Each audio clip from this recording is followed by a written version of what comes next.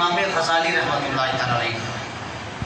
آپ نے حجت الاسلام اور حجت الاسلام حافظ الحدیث اس شخص کو کیا جاتا ہے جس بندے کو ایک لاکھ حدیث سنتن متنن اس طرح سمجھ لو کہ عربی اس حدیث کی ساری اور اس حدیث کا بیک گراؤنڈ کہ اے حدیث کنہ نے روایت کی ہے؟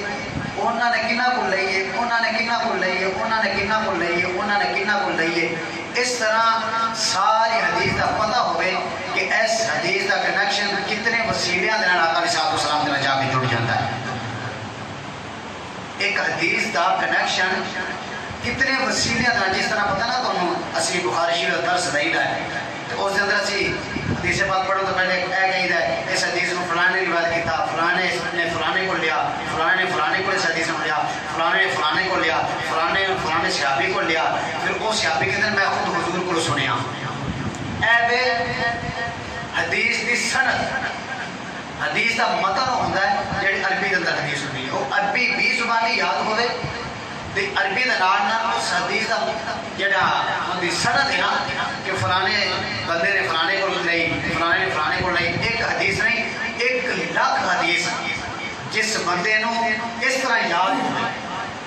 سندن مکانن عربی بھی یاد ہوئے اندی بیک گراؤنڈ دا بھی پتہ ہوئے اس کتنے وسیلیاں دے نال، کتنی وساطت دے آقا علیہ السلام تک کیندا کنیکشن پہنچ جاندا ہے۔